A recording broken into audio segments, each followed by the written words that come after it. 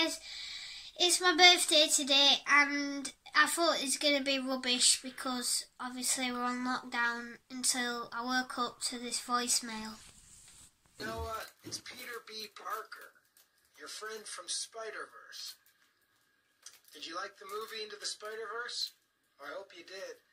I'm here in Queens. I'm not allowed to leave my apartment.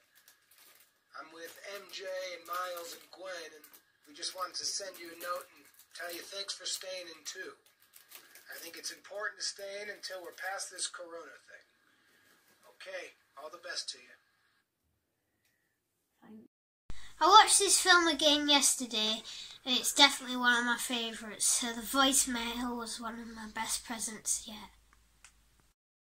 See you again soon, guys. Don't forget to like and subscribe.